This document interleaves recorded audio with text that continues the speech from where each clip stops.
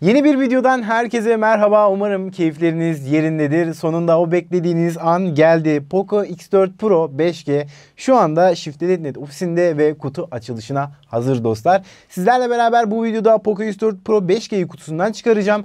Ara ara Poco X3 Pro ile karşılaştıracağım. Çünkü çok çok çok soru var bu iki telefon hakkında. Detaylı kıyaslamaları gelecek, oyun performans testleri hepsi gelecek. Ama şunu bilmenizi istiyorum. Bu tarz videolar Yeşil Robot'ta daha sık geliyor arkadaşlar. Android ile alakalı bütün videoları orada paylaşıyoruz. Açıklamaya bir link bırakacağım. Oradan takip edebilirsiniz.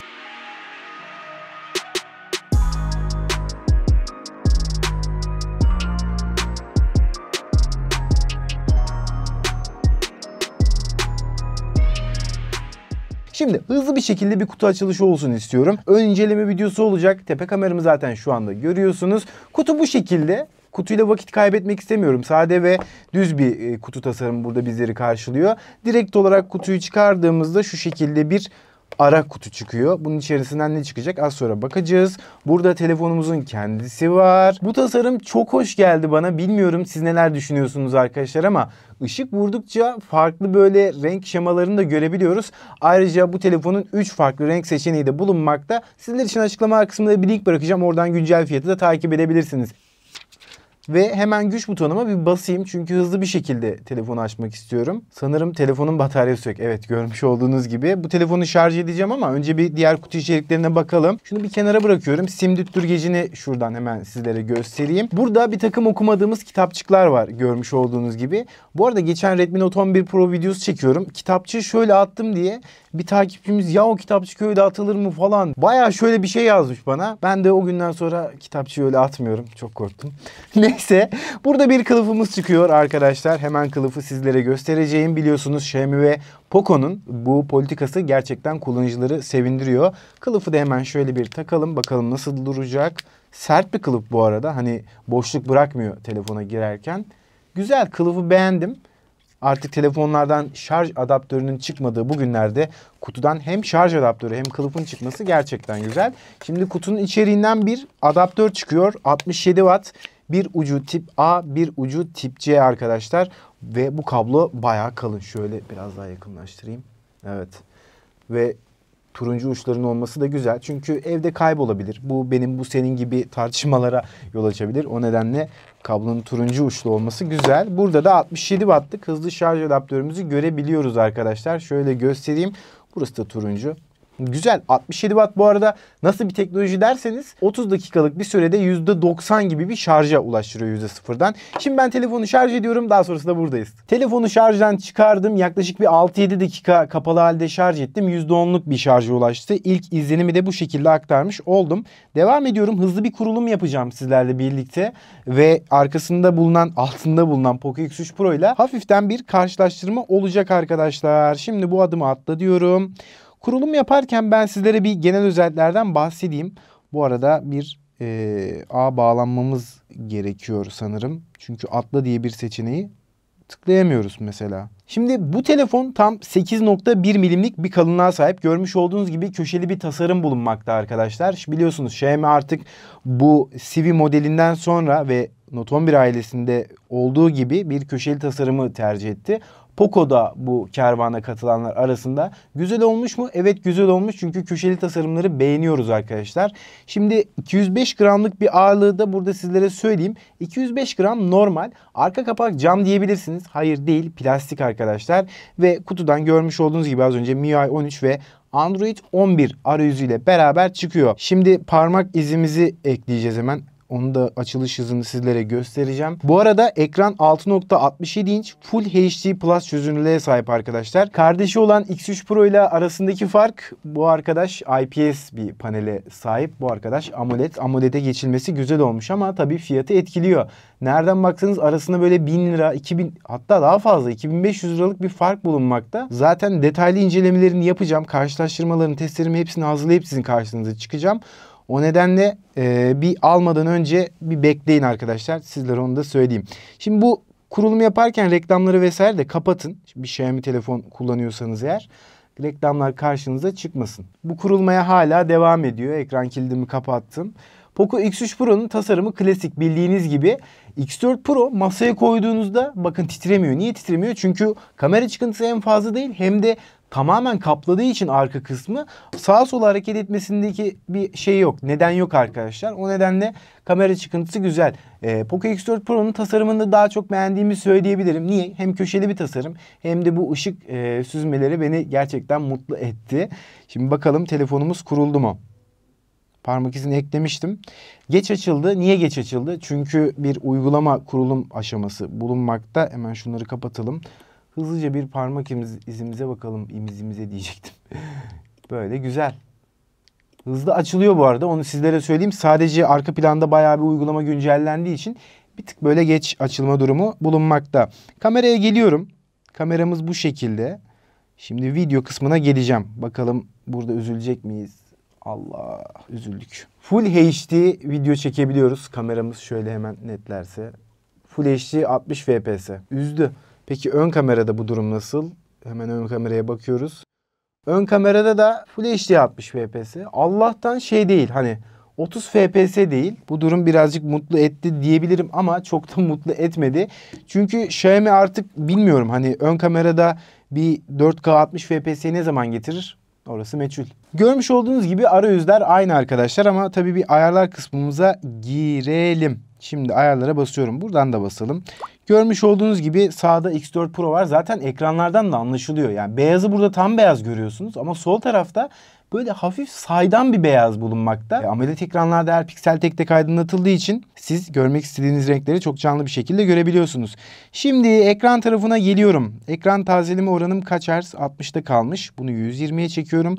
Bu arkadaşta da 120 Hz ama ekran ve işlemci konusunda farklar bulunmakta arkadaşlar. Mesela bu arkadaşta X4 Pro'da Snapdragon 695 bulunmakta. Yeni nesil ama bu arkadaşın içinde bulunan Snapdragon 860'a göre daha düşük performansla çalışan bir işlemci.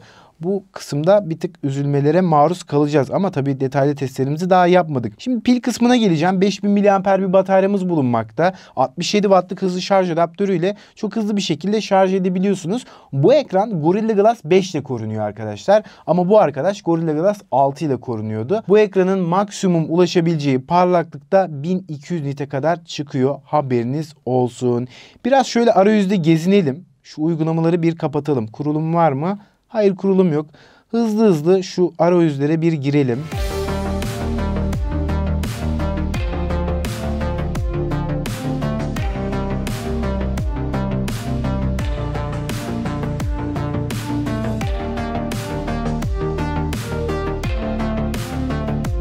Bir hafiften bir kasma donma var. Telefonun tabii bir kendine gelmesi gerekiyor.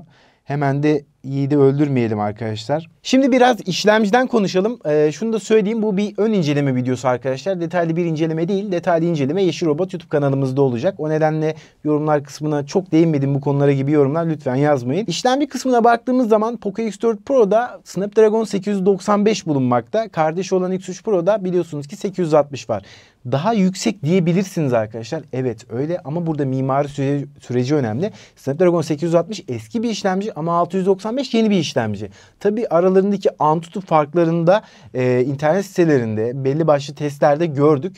Snapdragon 860'ın daha iyi olduğunu biliyoruz. Ama detaylı karşılaşma videosunu daha biz henüz çekmedik tabi. Bizim detaylı testlerimiz iyi oluyor. O nedenle beklemekte fayda var. Peki telefonu satın almaya karar verdiniz. 6 veya 8 GB RAM'li modeli tercih edebilirsiniz. Bunun yanı sıra telefonda UFS 2.2 desteğinin olması beni bir tık üzdü. Çünkü kardeşinde UFS 3.1 teknolojisi bulunmaktaydı.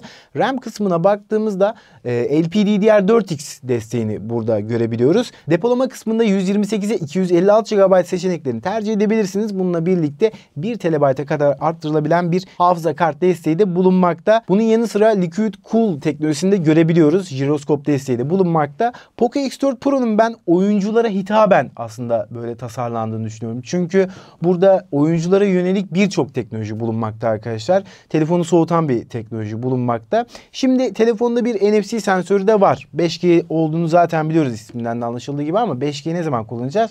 Orası meçhul. Şimdi geçelim kamera kısmına. Tepe kameramı zaten görüyorsunuz. Şu telefonu bir kenara koyalım. Buradaki ana kamera tam 108 megapiksel değerinde ve f1.9 diyafram açıklığına sahip arkadaşlar. İkinci kameramız ultra geniş açılı bir kamera. 118 derecelik bir çekim açısı bulunmakta. 8 megapiksel f2.2. Üçüncü kameramız makro f2.4 diyafram açıklığı da bulunmakta. Az önce video kayıt seçeneklerinde zaten gördünüz. Full HD videolar çekebiliyor. Bu konuda biraz bizi üzebiliyor. Ön kameraya baktığım zaman burada bir delik çentik bulunmakta ve 16 megapiksel çözünürlükte olduğunu belirteyim. Ayrıca diyafram açıklığı da f2.4 olarak geliyor. Bu arada üst tarafta bir 3.5 mm'lik jack girişi olması da oyuncuları yine mutlu eden detaylar arasında e, kendini koruyor. Şimdi sizlerle birlikte ne yapalım? Çekmiş olduğumuz örnek fotoğraf ve videoları ekranlara getirelim. Daha sonrasında buradayız.